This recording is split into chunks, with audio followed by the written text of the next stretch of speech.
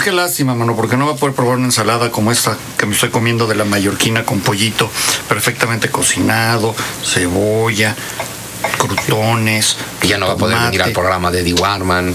No, claro que no. Y, y- y esta mayonesa especial que ha preparado el chef de la mallorquina, eso me da mucha lástima. Pues sí. A lo mejor por eso reencarna otra vez. Solo por Una eso. vez más, aunque sea para. Por comer la tortilla para comerse española. la tortilla de patata que yo me acabo de comer, exacto. ¿Qué tal está? Buenísima. ¿Qué tal los trozos de la, de, de la papa perfectamente cocida? Sí, sí. Se la ganó a Miquel, ¿eh? Es que además yo soy fan de la tortilla de papa, tengo que decirlo. Y, la- y del Dalai. También. Del Dalai Lama no tanto, del budismo sí. Y ahora sí, Carlos Arrieta está con nosotros. Oye, te felicito por la tortilla de patata, Carlos, y por esta magnífica ensalada de pollo con una mayonesa excelsa. De verdad, eh, muy balanceada. El, eh, es un alioli o cómo le llamas, ¿sabes? ¿Qué es esta mayonesa? Muchas gracias por estar aquí. Muchas gracias, buenas tardes. Eh, en realidad es una salsa de es una salsa cóctel, es una salsa con una con un núcleo de mayonesa, una gotita de zumo de naranja, un poquito de ketchup, sal, un poco de pimienta y un poco de brandy. Está Es una- así de fácil. Así de fácil, además es una, es una salsa que se hace muy muy rápido, se hace con todos los elementos fríos en un batidor y se tiene que hacer directamente para cada servicio porque se oxidan y entonces pierde muchas de las propiedades. Es una salsa que se ha hecho casi es profeso media, media horita antes de llegar aquí. Oye, y este pollo, ¿cómo le diste esta textura? ¿Qué clase de pollo usas? ¿Es orgánico? ¿O cómo logras esté tan eh, carnoso, tan eh, jugoso, que no se haya secado, aún comiéndolo frío en la ensalada? Es que, eh, cuando se hace las pechugas de pollo a la parrilla, lo que no podemos olvidar es que el calor eh, extrae humedad, entonces tenemos que estar regando con un poquito de aceite para que la evaporación esté impregnada de una materia grasa. Por eso lo que hacemos es tener un equilibrio entre, entre la humedad que le estamos dando y el, y el- y el punto de secado, es lo que buscamos. La mallorquina nace de pura casualidad, ¿no? Porque la mallorquina eran tus galletas deliciosas con chocolate que trajiste de España, famosas en España. Y hace un par de años vienes a México a vender estas galletas y decides quedarte. Y así nace poco tiempo después, un año, dos años, el restaurante La Mallorquina, ¿no?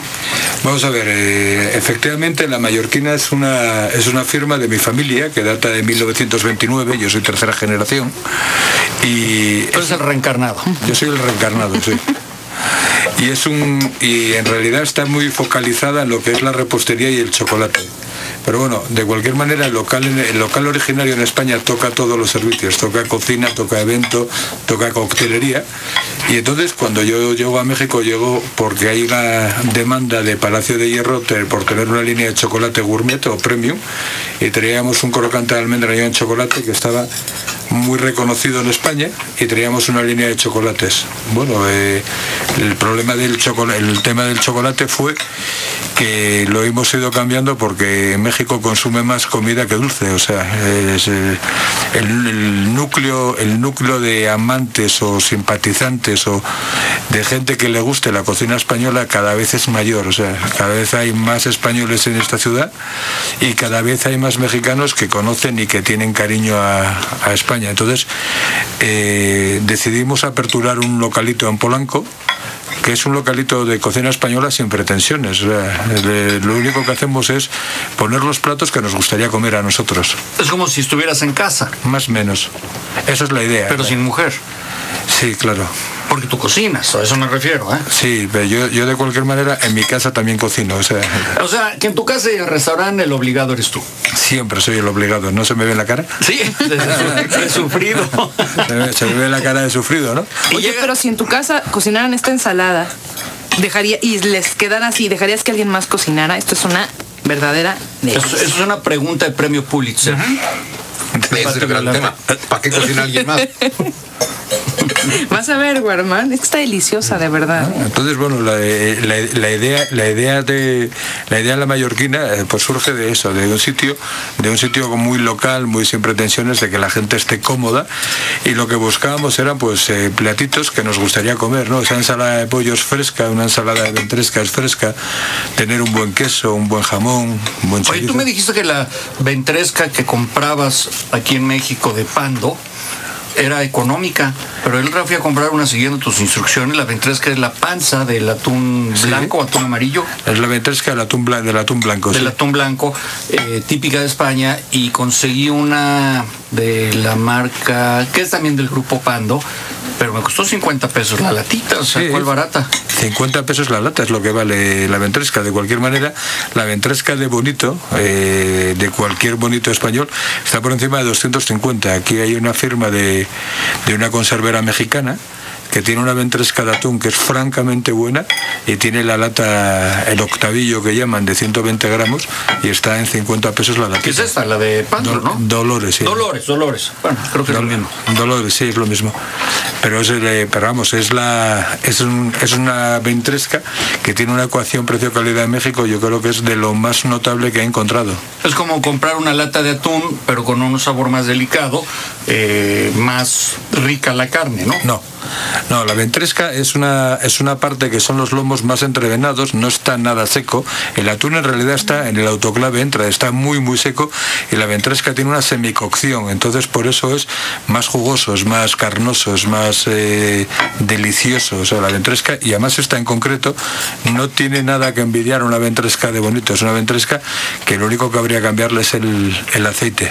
Acabo de probar la única fabada que ha superado la de Casa Fermín en Asturias, que era la mejor fabada, además con una estrella Michelin. Vamos a verla de nuevo. No, no, de veras, Sunsu, no sabes de lo que estás perdiendo. Pues sí, yo lo sé, pero Mira, para que te sientas peor, yo tengo una copa de vino delicioso en una mano, Y un martini. un martini en la otra, una ensalada de pollo y un cachete de cerdo del otro lado, que estoy llorando, ¿eh? Ese sí, Siéntete mal. Tú sigue comiendo y te vas a hacer los dos lados de cachete de cerdo. Mira, Guarman.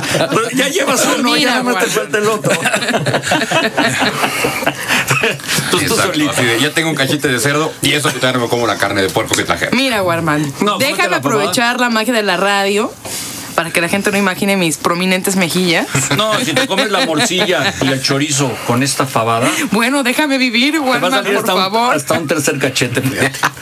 Oye, qué ginebra este. Mira, trae una rebanada delgadita, delgadita de manzana, o sea, de milímetros, Delicioso, por cierto. una cascarita de naranja, De mandarina creo que es. digo, de mandarina. Mandarina, mandarina. El, el aroma es espectacular a mandarina, justamente como si lo hubieras exprimido la cáscara. En realidad, eh, la fruta mexicana es espectacular. Entonces, eh, aprovechando esa calidad que tiene, las pieles de la fruta eh, tienen un componente de ceste tan sumamente alto que es un aromatizante. Entonces, lo único que hacemos es buscarla, cortar la piel lo más fina posible y dejarle que impregne todo el aroma, porque cortamos piel, no debería tener blanco, y que impregne en el combinado. Es un gin tonic de una ginebra que se llama Masters, que es una ginebra, es un dry gin absolutamente neutro. Yo creo que es una de las mejores ginebras secas que hay en el mercado. Y de una tónica que se llama Mid Tonic, que es una tónica española, pero tiene yuzu japonés. Es una tónica no muy ¿Qué es el abrasiva. Yuzu? Yuzu es, un, es una fruta, es un cítrico japonés que es parecido al pomelo, en realidad. Y lo que es es que no tiene tanta acidez como puede tener el limón o la lima, algo así. Y entonces balancea muy, muy bien eh, esta aguaquina. Yo creo que de los mejores martines que he probado en México son el tuyo, el de la mallorquina que está ahí en Emilio Castelar y Tennyson. Emilio Castellari tenés. eh, frente al Parque de Polanco, frente al Teatro Rosario Casero, donde están las jaulas de los pájaros. El aviario, efectivamente. Ahí, eh, este, tampoco tienen pájaros. Alguno que otro. Sí, sí, hay pájaros, en el aviario de pájaros. Si no se los han comido. No, no, Ya no funciona el aviario, ¿o no, sí sí? funciona, sí funciona. ¿De qué se ríen allá atrás? ¿Qué dijo Sun Tzu? Yo no dije Se nada. están burlando de nosotros allá en cabina. No puede ser. Pues yo nada más dije que si tenían pájaros, porque nunca les veo los... Y Sun Tzu dijo sí.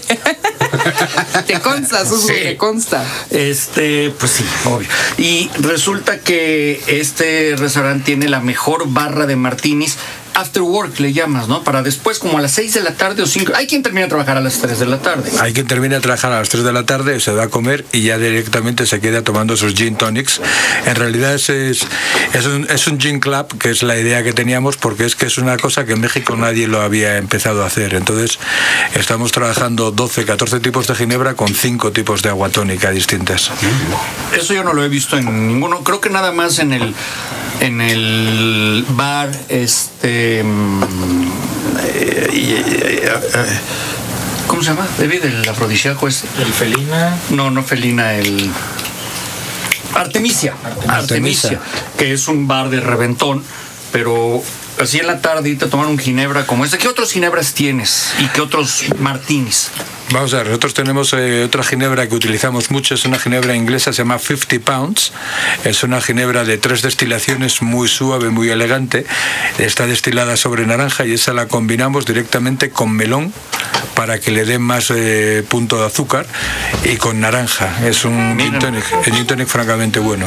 Déjame ir a Noticias e Informe Vial y continúas en el canal de televisión explicando más sobre martinis. Y yo soy Eddie Warman, siempre 88.9. Este es el restaurante La Mallorquina que está en Emilio Castelar y Tennyson, frente al aviario donde hay pájaros. bueno, donde ya no hay pájaros. Eh, el ¿qué cree? Ya no me acuerdo qué vamos a tener el lunes, pero va a estar muy bueno el programa del lunes. Este, sí, ¿dónde está la hojita del programa? A ver. ¿No es esta? ¿No? No, no. Ah, sí, aquí está, aquí está, aquí está. El lunes viene Gabriela Soule con un tema de psicología para niños, pero para adultos. Tecnología sueca de eSettle, un nuevo sistema de pago. Y Honeystick, ingeniería para Symantec. Eso es lo que va a haber el lunes. Yo soy Eddie Warman. Hoy sí hay alcoholímetro. Hoy sí tome poco. Hoy no fume. Y vamos a noticias. Esto es